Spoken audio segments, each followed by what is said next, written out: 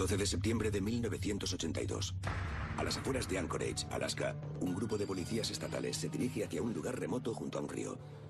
Encuentran enterrado en la tierra el cuerpo de una joven, a la que han disparado con una escopeta de caza. Al parecer, el asesino llevaba a las víctimas con vida hasta esos parajes y después las mataba. La policía emprende la búsqueda de uno de los peores asesinos en serie de Norteamérica.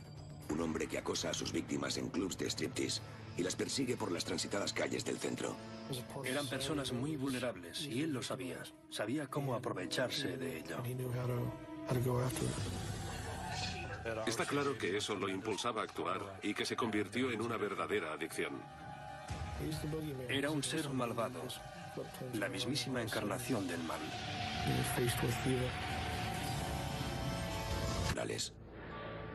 Se considera uno de los mejores lugares del mundo para practicar la caza mayor. Pero a principios de los 80, la amenaza cayó sobre otro tipo de presa. Esta vez, en el interior de la ciudad.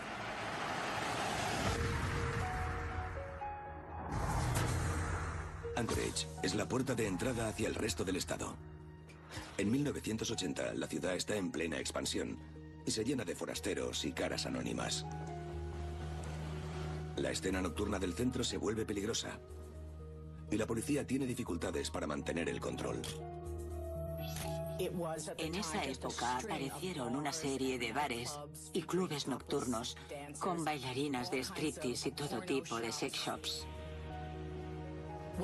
Cuando toda esa masa de gente empezó a llegar a Anchorage, la ciudad se abrió hasta el punto de que a cualquier hora del día o de la noche, las calles estaban abarrotadas. Hubo una gran proliferación de la prostitución en aquel tiempo. Muchas veces era difícil mantenerse al tanto de quién estaba en cada lugar y de qué era lo que sucedía. Había agencias de fuera que hacían rotaciones entre las mujeres continuamente. Es decir, traían a prostitutas para que trabajaran de bailarinas durante un par de meses y después se las llevaban para Seattle, Portland o Honolulu.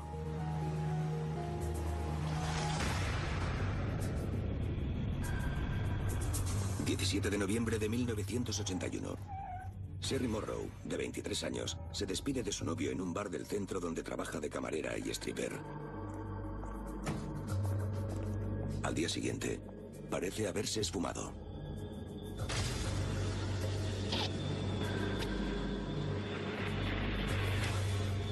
Su novio denuncia su desaparición. Pero teniendo en cuenta que las bailarinas a menudo se marchan de la ciudad sin avisar, la policía considera que no hay motivos para sospechar que haya sido víctima de un crimen. Siempre estaba en continuo movimiento. Muchas prostitutas o bailarinas van cambiando de ciudad muy a menudo. Para muchas de ellas es lo normal.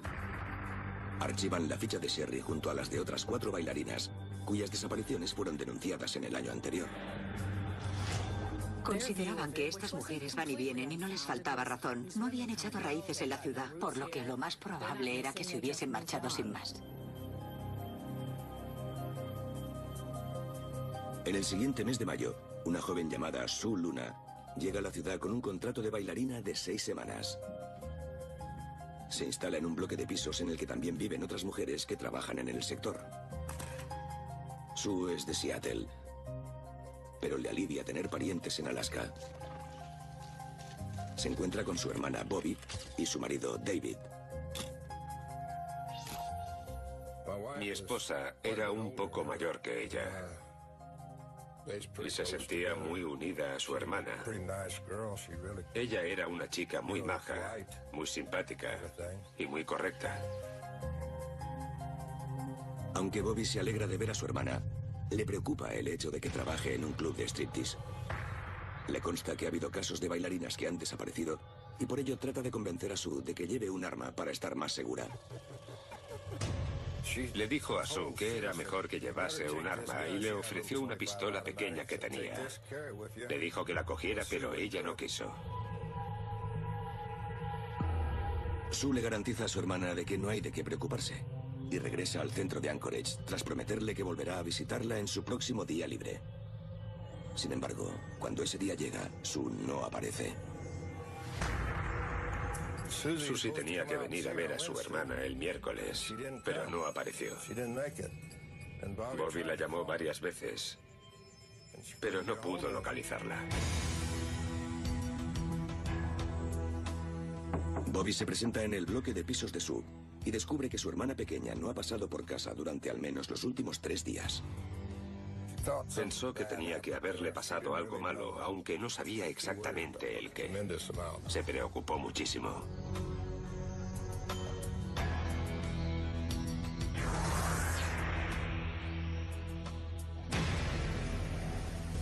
12 de septiembre de 1982.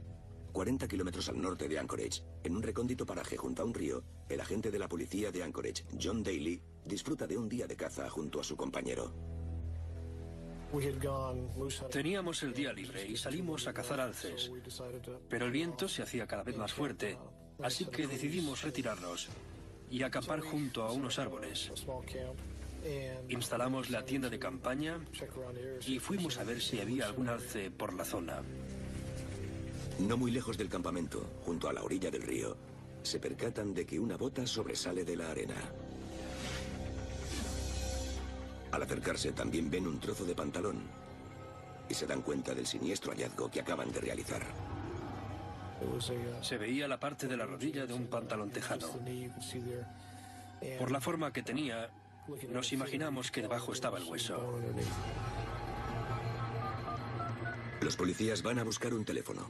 Como están fuera de los límites de la ciudad de Anchorage, avisan a la Policía Estatal de Alaska.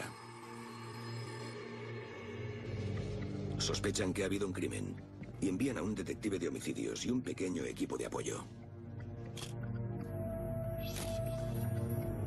En este caso en particular, se trataba de una zona muy remota a la que únicamente se podía acceder en barco, en avioneta o con un vehículo todoterreno. Llegaron con el equipamiento, las herramientas y las cámaras, acordonaron la zona y luego fotografiaron el lugar de los hechos, siempre tratando de no alterar nada. Seguidamente desenterraron el cuerpo con mucho cuidado, como si de una excavación arqueológica se tratara. El cuerpo en descomposición pertenece a una mujer joven. Tiene los ojos tapados con una venda elástica, lo cual confirma que se trata de un asesinato. Tras exhumar el cadáver, la policía registra la tumba en busca de pruebas. Fueron retirando la tierra y filtrándola con mucho cuidado para buscar cualquier cosa que pudieran relacionar con la víctima o con el posible asesino. Encuentran el casquillo de una bala del calibre 223. En el laboratorio, un patólogo forense descubre fragmentos de bala en el pecho de la víctima. Los registros dentales ponen nombre a la víctima. Se trata de Sherry Morrow, la bailarina de 23 años cuya desaparición fue denunciada por su pareja el pasado otoño. La policía investiga, pero no hay pruebas sólidas que vinculen el asesinato con el de las otras bailarinas desaparecidas. Bobby Morhead mantiene la esperanza de que su hermana Sue sigue con vida. Buscó por todas partes, comprobó todas las pistas que tenía y también consultó a la policía. Pero otros se vuelven cada vez más pesimistas. Tras el asesinato de una mujer y la desaparición de otras cinco, el miedo se apodera de la ciudad de Anchorage. Las prostitutas coincidían en que la cosa no pintaba bien. Nos enteramos de que las mujeres que trabajaban en los bares de striptease creían que algo no iba bien y que había una o varias personas que las tenían en el punto de mira. Esa persona no tardará en volver a atacar. Octubre de 1982. La policía de Alaska investiga el asesinato de la bailarina Sherry Morrow, a quien encontraron semienterrada y con los ojos vendados en una zona no muy lejos de Anchorage. Su novio explica a la policía que Sherry le habló de un cliente anónimo que se acercó a ella en el trabajo. El hombre le ofreció una gran suma de dinero y le pidió que posara desnuda para unas fotografías.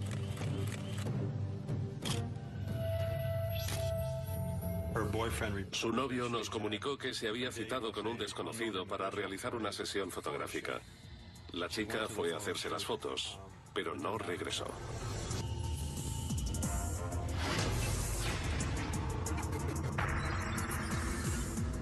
Mismo tiempo, la policía estatal y local estudian los archivos de las otras bailarinas desaparecidas durante los últimos dos años. Cuando se fijan en el caso de Su Luna, descubren una inquietante conexión. Su también tenía planeado asistir a una sesión fotográfica con un hombre desconocido el día que desapareció.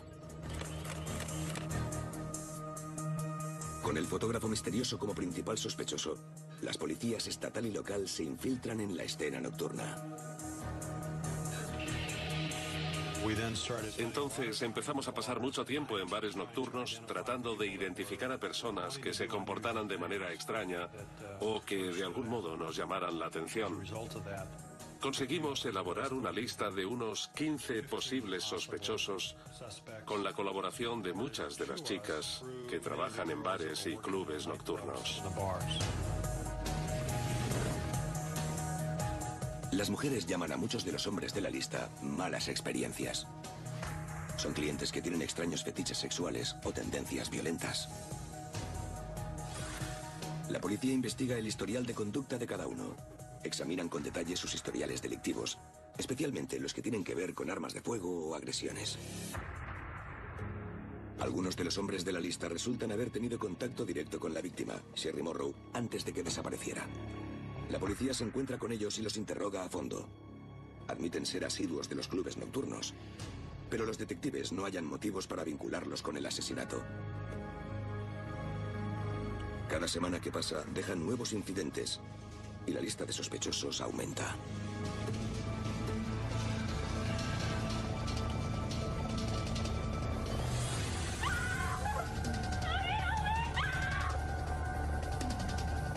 13 de junio de 1983. Por la mañana se oyen gritos en el centro de Anchorage. Una chica de 17 años, originaria de Oregón y que trabajaba de prostituta, corría despavorida por la Quinta Avenida con las manos esposadas. Corría por la Quinta Avenida mientras gritaba, me va a matar. La mujer consigue la ayuda de una camioneta que pasa. El hombre la dejó subirse al vehículo. Ella le dijo que la llevara unas calles más abajo y la dejara en un motel. Como estaba armando un verdadero escándalo con sus gritos, alguien decidió llamar a la policía. Un agente de la policía de la ciudad llamado Greg Baker se presenta en la escena e interroga a la nerviosa chica. Cuando consigue calmarse, le cuenta algo espeluznante.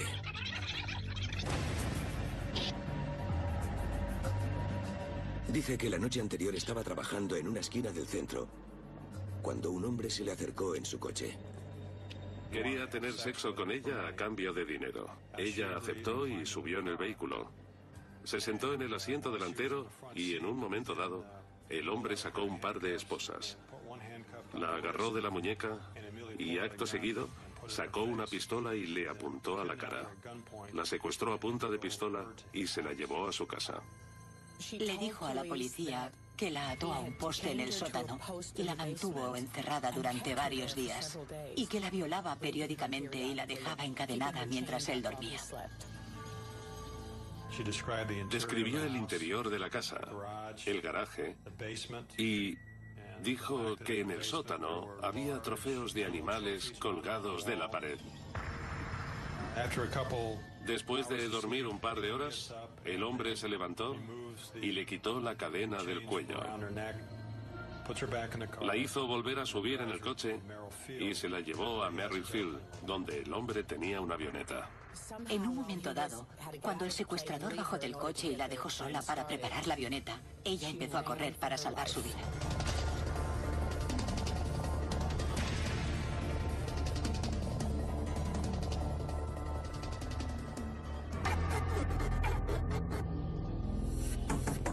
Misma mañana, la policía de la ciudad investiga la historia de la joven.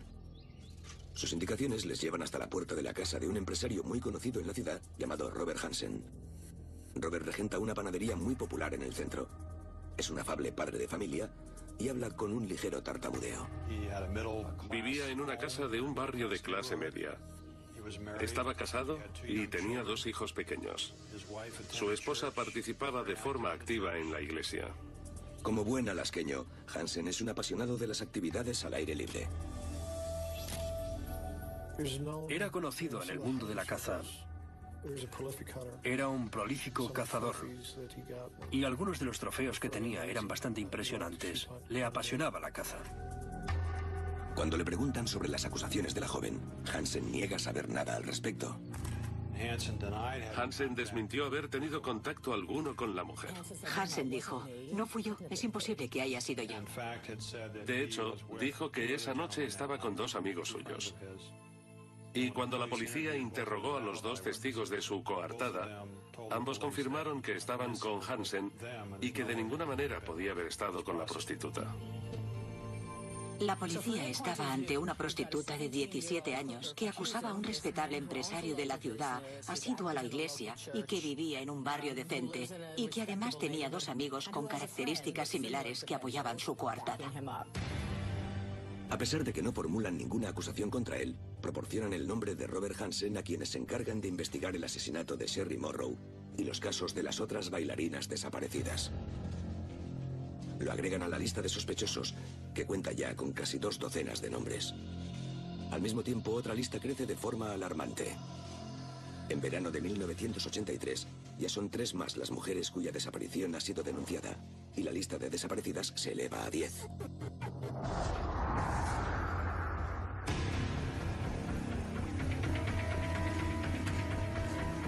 2 de septiembre de 1983. Junto al mismo tramo de río en el que encontraron el cuerpo de Sherry Morrow, unos cazadores divisan unos huesos que sobresalen de la tierra. Cuando se acercan, descubren que se trata de un cuerpo humano en descomposición.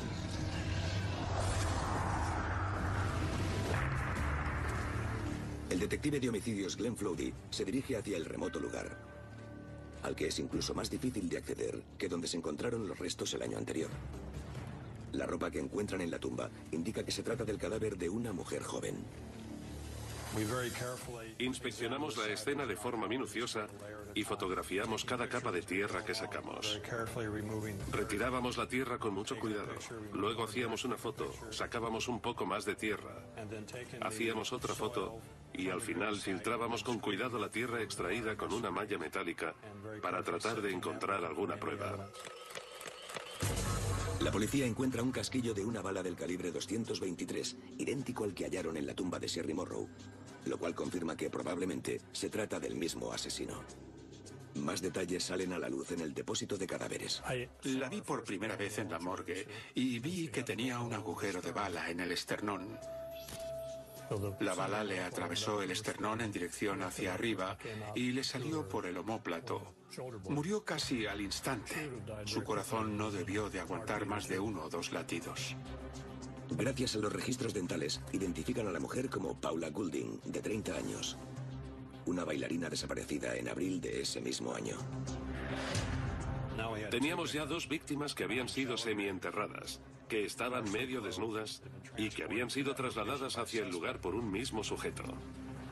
La policía estatal organiza una búsqueda masiva en la zona donde se hallaron los cadáveres, ante el temor de que otras bailarinas hayan sufrido la misma suerte. Bobby Morhead y su marido David se unen a la búsqueda. Pero a Bobby le cuesta seguir manteniendo la esperanza de que su hermana desaparecida, Sue, siga con vida. En esa época teníamos caballos y los usamos para buscar a lo largo del río. Era una región enorme y teníamos un largo trabajo de búsqueda por delante. Antes aún teníamos alguna esperanza, pero después de que aparecieran todos esos cuerpos, la esperanza se empezó a desvanecer. Mi esposa cayó en una profunda depresión. Entre las bailarinas y sus amistades y entre todos quienes trabajaban en los clubes nocturnos, la preocupación se hizo cada vez mayor. Pusieron en práctica una especie de sistema y dejaron de ir a sitios desconocidos y con personas desconocidas. Y tenían que informar siempre de la hora a la que volverían. El trabajo de las prostitutas consiste en irse con extraños a lugares donde nadie pueda verles. Eso las convierte en presa fácil. La cantidad de crímenes que aún quedan por salir a la luz sorprenderá incluso a los investigadores más veteranos. En 1983, un asesino en serie anda suelto en Anchorage, Alaska. Dos bailarinas exóticas han sido asesinadas y muchas otras siguen desaparecidas. Una de ellas es una joven llamada Sue Luna, cuya desaparición fue denunciada por su hermana Bobby. La policía cree que la apariencia del criminal podría ser la de un hombre inofensivo y que se gana la confianza de las mujeres antes de asesinarlas.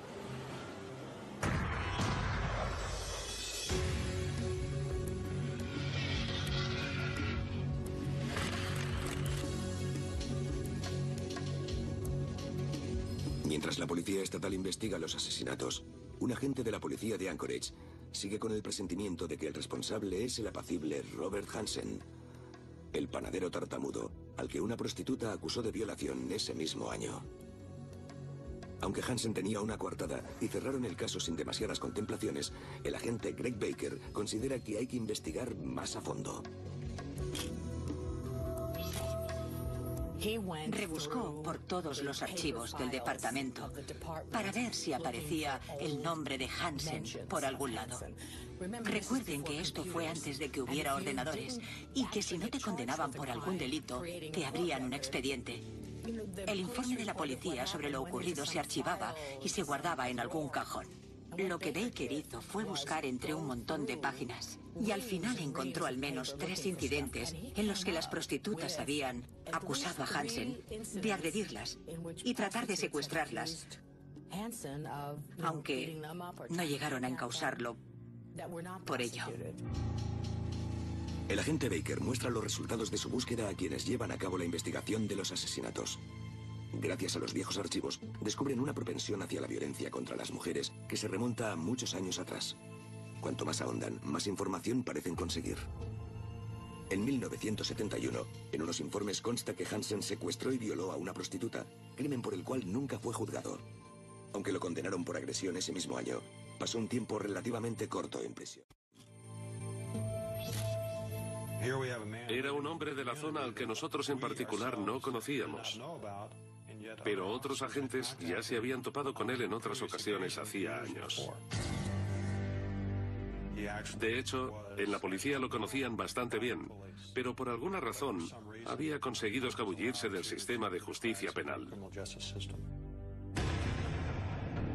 Fijándose en las investigaciones por los dos asesinatos, los detectives se percatan de algo sorprendente.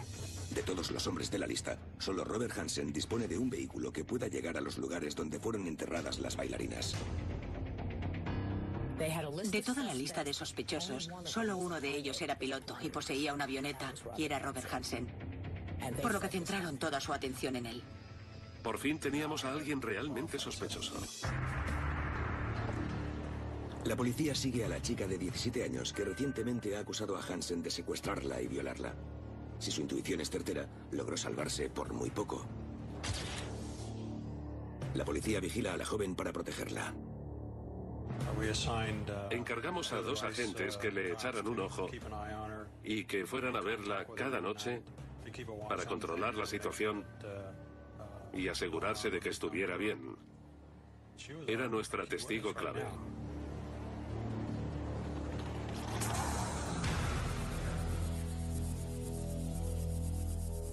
Al mismo tiempo, mantienen a Robert Hansen bajo vigilancia continua. La policía todavía no dispone de pruebas sólidas que lo vinculen a los asesinatos, pero temen que vuelva a atacar. Nos preocupaba mucho pensar que el sospechoso podría secuestrar a otra persona mientras nosotros seguíamos con la investigación, quizás ante nuestras narices. Nos valimos de agentes antinarcóticos vestidos de paisano y de vehículos camuflados para seguir a Hansen las 24 horas del día. Y llegamos a la conclusión de que ese hombre nunca dormía. Trabajaba durante varias horas y en sus descansos se iba a dar vueltas con el coche por las calles de Anchorage y nosotros lo seguíamos. Daba vueltas por la zona de bares y donde estaba toda la prostitución.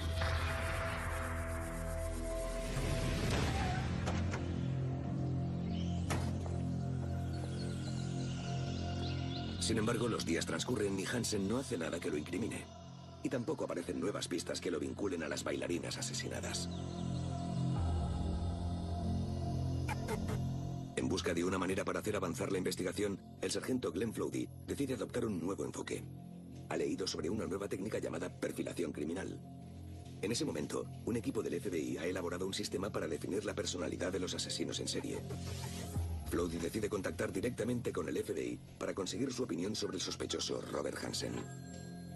El agente del FBI me ayudó mucho. Cuando comencé a hablarle del sospechoso, me paró y me dijo que le hablara sobre las víctimas, que él ya me hablaría sobre el sospechoso. Flody le describe las tumbas y los casos de desaparición de las diversas bailarinas. En su respuesta, el agente le describe las posibles características del autor de los crímenes. Me dijo que probablemente el asesino era un hombre blanco de unos 40 años, respetado en la comunidad y que tal vez fuera empresario. Dijo que podría tratarse de un ávido cazador e incluso que sospechaba que podía ser tartamudo. La verdad es que me descolocó un poco, porque describía casi a la perfección el perfil de Robert Hansen. Incluso lo de que era tartamudo fue bastante impresionante. El agente también le comenta que tal vez en casa del sospechoso puedan hallar alguna prueba que lo incrimine, ya que los asesinos en serie suelen guardar recuerdos de sus crímenes. Basándose en su perfil, en las recientes acusaciones de violación y en su historial delictivo, la policía consigue obtener una orden para registrar de forma exhaustiva la casa y los vehículos de Hansen. Era la primera vez en la historia de los Estados Unidos que la información obtenida del análisis de personalidad del criminal realizado por el FBI se usaba como declaración jurada para expedir una orden de registro. En ese aspecto fuimos pioneros. 26 de octubre de 1983. Quienes trabajan en el caso celebran una larga reunión por la tarde. Hicimos venir a investigadores de otras zonas, ya que íbamos a necesitar a bastantes agentes para llevar a cabo las diversas búsquedas de forma simultánea. Siguiendo el consejo del FBI, preparan una sala de interrogatorios para Robert Hansen. La empapelan con imágenes y recortes de periódicos relacionados con los asesinatos y las bailarinas desaparecidas. En caso de que no consigan suficientes pruebas materiales, la única esperanza para solucionar el caso podría ser tratar de sonsacarle a Hansen una confesión. Sabían que solo tenían una oportunidad y que el interrogatorio era muy importante. Para los detectives todo depende de lo que ocurra la mañana siguiente. Si la intuición no les falla, podrán detener a un asesino en serie. Si fracasan, seguirá en libertad y podrá atacar de nuevo.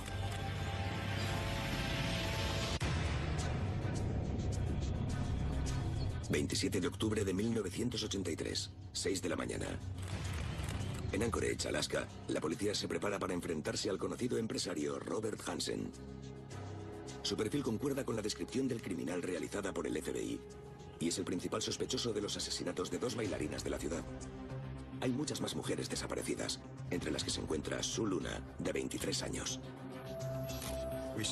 Enviamos a una pareja de investigadores para que vigilaran la casa y nos avisaran cuando saliese para ir a la panadería.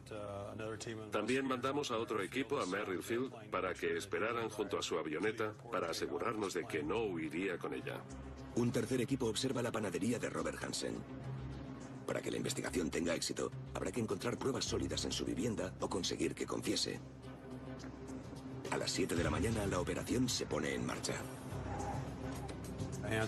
Hansen salió para ir a trabajar y los dos agentes se le acercaron y le dijeron de manera muy relajada que la policía estatal quería hablar con él. No especificaron nada ni le hablaron en tono amenazador. Simplemente le preguntaron si podía acompañarlos a la oficina. El sospechoso aceptó y subió al coche de los agentes para que lo llevaran a comisaría. Mientras trasladan a Hansen, la policía incauta sus dos vehículos y su avioneta. Otro equipo de investigadores se presenta en su casa. Tras acompañar a su esposa y a sus dos hijos a casa de los vecinos, entran en la vivienda para someterla a un riguroso examen. Cuando nos aseguramos de que teníamos la casa para nosotros solos, lo siguiente que hicimos fue fotografiar cada palmo de la casa. Sacamos fotos de las paredes, del suelo, de todo, con cuidado de no mover nada de su sitio.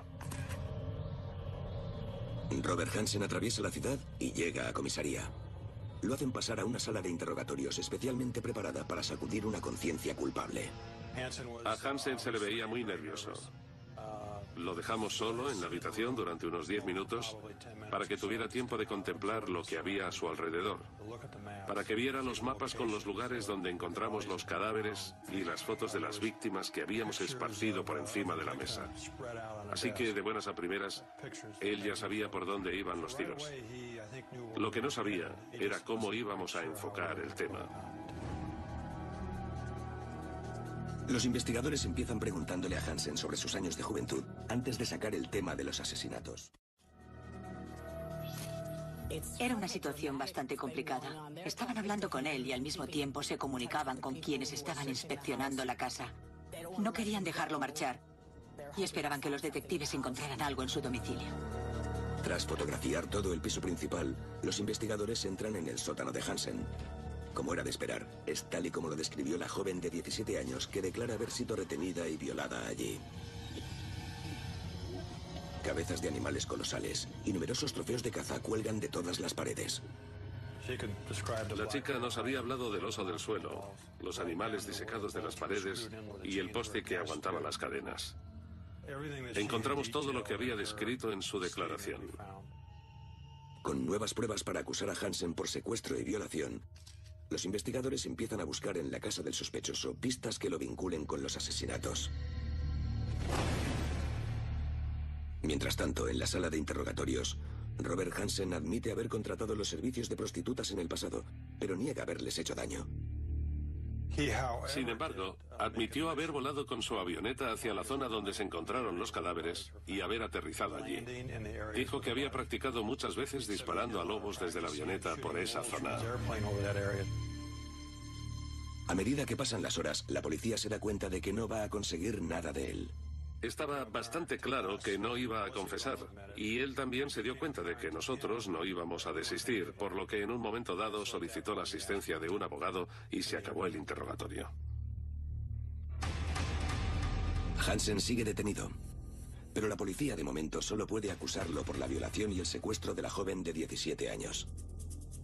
Ese mismo día, los investigadores se citan con los dos hombres que proporcionaron una coartada a Hansen para el caso. Ambos testigos de la coartada se vinieron abajo cuando les contaron que la investigación concernía a varias víctimas. Los hombres admiten que Hansen no estaba con ellos la noche en cuestión, como habían declarado originalmente. En aquel momento decidieron mentir para ayudar a su amigo, de cuya inocencia no dudaban. La policía sabe que se encuentra ante un caso grave de secuestro y violación, pero al otro lado de la ciudad, en casa de Hansen, todavía no han encontrado nada que lo vincule a los asesinatos o a las numerosas mujeres desaparecidas. Las cosas no estaban yendo como habíamos esperado. Llevábamos ya tres meses trabajando sin cesar en el caso.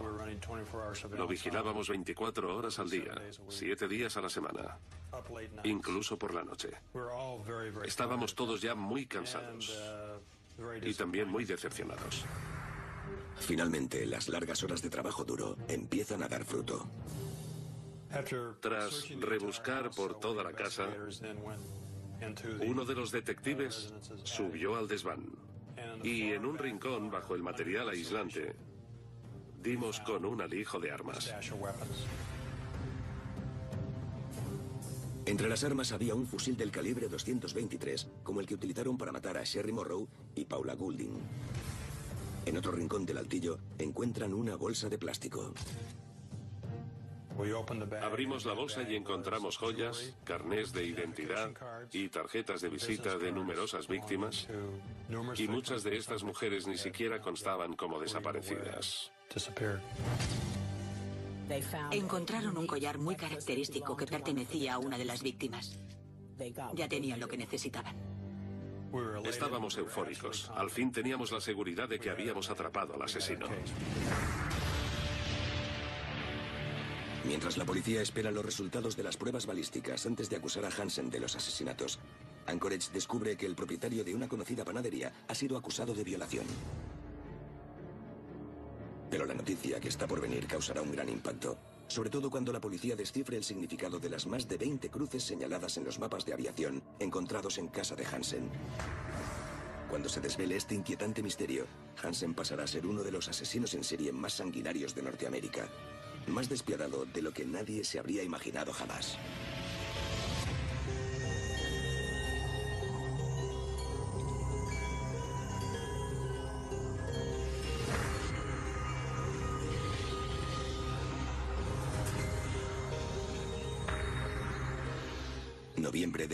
1983. En Anchorage, Alaska, el propietario de una panadería del centro ha sido acusado de la violación y el secuestro de una joven de 17 años. Aunque todavía no se ha hecho público, un rifle encontrado en su vivienda lo vincula con el asesinato de dos bailarinas de striptease. La policía espera a formalizar las acusaciones para tratar de descubrir el alcance total de los crímenes de Hansen. Con Hansen entre rejas, los detectives intentan descubrir a cuántas mujeres ha secuestrado y asesinado. Tienen la atención puesta sobre los mapas de aviación que encontraron en casa del sospechoso. Curiosamente, en esos mapas de vuelo había dibujadas un conjunto de cruces que estaban esparcidas por un área cercana a Anchorage en un radio de unos 150 kilómetros. Las 21 marcas parecen indicar los lugares a los que Hansen ha volado anteriormente. Sabíamos que era muy aficionado a la caza y en ese momento sospechábamos que las marcas indicaban las zonas por las que había estado cazando. Pero los detectives se dan cuenta de que dos de las marcas coinciden con puntos en los que ellos mismos han estado, los lugares en los que hallaron las tumbas de Sherry Morrow y Paula Goulding. No eran marcas de lugares en los que había estado cazando en alguna ocasión, sino de los sitios en los que había matado y enterrado a sus víctimas. Y estos mapas tenían 21 cruces marcadas, por lo que nos quedamos totalmente patidifusos. No nos lo esperábamos. Pensábamos que quizás habría media docena de víctimas, pero de ninguna manera pensamos que podía haber 21.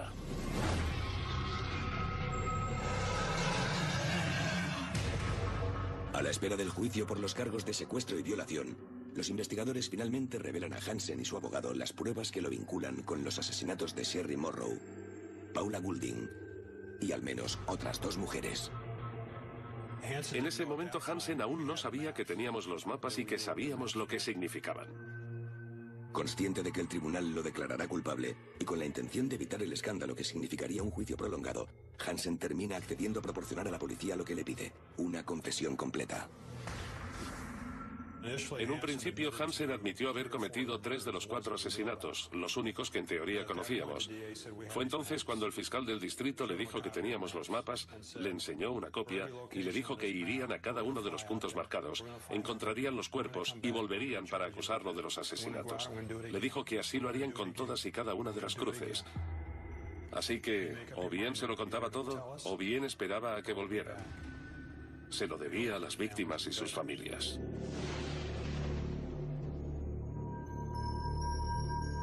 Dada la evidencia de sus crímenes, la defensa de Robert Hansen al fin se desmorona. Durante los próximos días confesará un total de 17 asesinatos y 30 violaciones, la mayoría de bailarinas y prostitutas del centro de Anchorage. En muchos casos se acercaba a las mujeres con afabilidad, ofreciéndoles dinero fácil.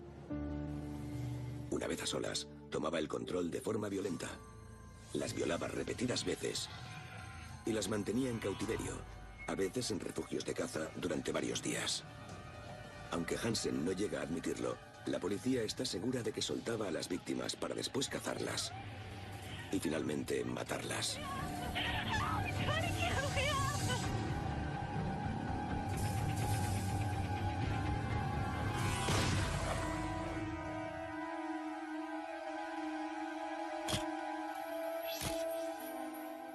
Soltaba a las víctimas para que trataran de huir y poder cazarlas. Hansen pasó de cazar animales a cazar personas. 27 de febrero de 1984. En un juzgado de Anchorage se hace pública por primera vez la extensión total de los crímenes de Robert Hansen. La noticia de la confesión conmociona a la población de Anchorage. El aparentemente inocente propietario de una panadería de barrio es uno de los asesinos en serie más peligrosos de Norteamérica. Todo el mundo estaba pendiente de los periódicos y de las noticias de la televisión. Los asesinos en serie suelen resultar fascinantes y supongo que la gente sentía una mezcla de horror y fascinación. No entendían cómo alguien había sido capaz de hacer algo así. Tenía dos vidas separadas. Era como el Dr. Jekyll y Mr. Hyde.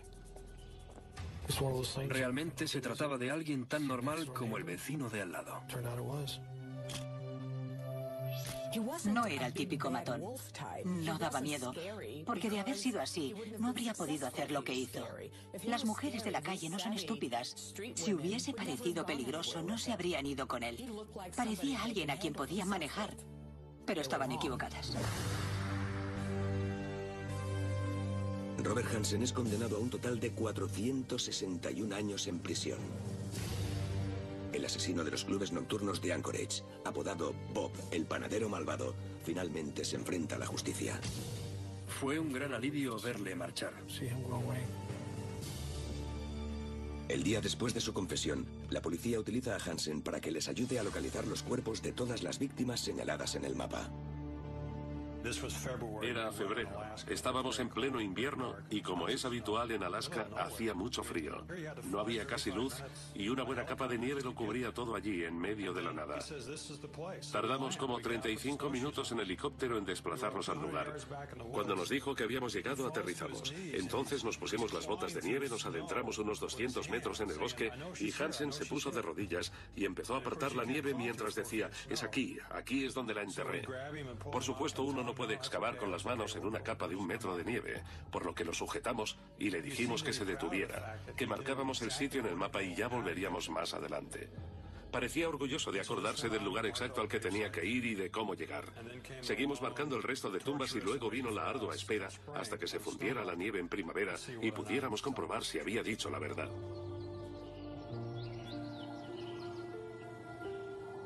En la primavera de 1984, la policía logra exhumar los cuerpos de muchas de las víctimas señaladas en el mapa y devuelven sus restos a las afligidas familias. De las 21 cruces que había en los mapas de Hansen, admitió haber asesinado a 17 víctimas. De esas 17 creo que encontramos 11 cuerpos. Su luna es una de las víctimas cuyos restos han podido recuperar, lo cual reconforta de algún modo a su hermana Bobby. Fue un gran alivio. Al recuperar el cuerpo de su hermana, pudo recuperar de algún modo la paz que había perdido. Las familias de las víctimas nunca podrán librarse del sufrimiento que sienten. Sus madres, sus padres, sus hermanos, sus amigos. El dolor en todos ellos nunca se desvanecerá y eso afectará a toda la comunidad. Robert Hansen permanece entre rejas en una prisión federal. Su larga condena hará que nunca más pueda volver a cazar humanos. Si en Alaska existiera la pena de muerte, el suyo habría sido un caso más que apropiado para ejecutarla. Supongo que ahora está donde tiene que estar. No creo que pueda volver a caminar libre por las calles, o al menos eso espero. Aunque si logra salir, no lo dejarán libre del todo. De eso estoy seguro. Jamás entenderé cómo pueden existir semejantes monstruos.